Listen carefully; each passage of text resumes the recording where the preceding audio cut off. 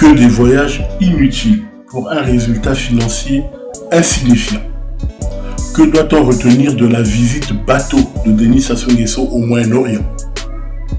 Dans la presse acquise à la cause de la dictature congolaise, la visite du chef suprême de la dette au Moyen-Orient a permis à ces États de découvrir les traditions et cultures de la République du Congo à travers la danse du Québec-Québec.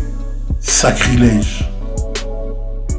Dépenser des millions qui pouvaient servir à, alléger la souffrance des retraités pour un résultat quasiment nul. N'est-ce pas une fuite en avant?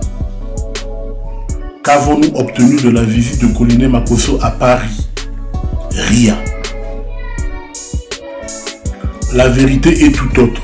Le dictateur Sassou Nguesso tente de rapatrier les fonds volés par les membres de son clan, cachés au Moyen-Orient. Nous souvenons encore de l'affaire de Jean-Jacques Bouya, qui s'était acheté des villas et des immeubles tout entiers à Dubaï. Et une partie de sa fortune avait été confisquée pour des raisons d'enquête financière. Denis Sassou Nguesso sait qu'il ne bénéficiera pas à court et à long terme d'un appui financier du FMI pour restructurer la dette auprès de ses partenaires, notamment chinois, et restructurer la dette intérieure.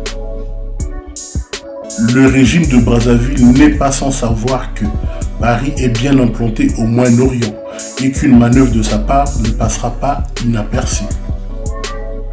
Nous continuons de travailler dans l'ombre avec les officines des chancelleries du monde afin de mettre un terme définitif au régime de Sassou Nguesso et rapatrier tous les capitaux qui ont été volés par les fils et filles de Denis Sassou Nguesso.